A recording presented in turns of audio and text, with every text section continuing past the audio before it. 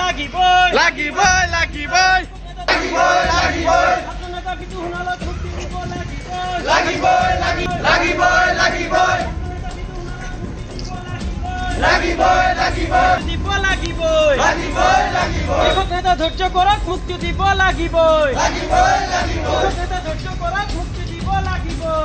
ৰাজনৈতিক আক্ৰোশৰ বলি হৈ দীৰ্ঘদিন ধৰি কাৰাবন্দী হৈ আছে আমাৰ কৃষক নেতা অখিল গগৈ ধৈৰ্য কোৱাৰ ছাত্ৰ নেতা বিতু সোণোৱাল আৰু কালি আমাৰ মানস কোঁৱৰে ইতিমধ্যে জামিন পাই মুকলি আকাশৰ তললৈ আহিছে আৰু তেওঁলোকে দীৰ্ঘদিন কাৰাবন্দী কৰি ৰখাৰ কাৰণে ইটোৰ পিছত ভুৱা গোচৰ জাপি দিছে। কেৱল সেয়াই নহয় শেহতীয়াভাৱে কৃষক নেতা অখিল গগৈ গুৰুতৰভাৱে অসুস্থ হৈ পৰিছে আৰু কৰোণাত আক্ৰান্ত হৈছে। তাৰ পিছতো তেওঁলোকে উপযুক্ত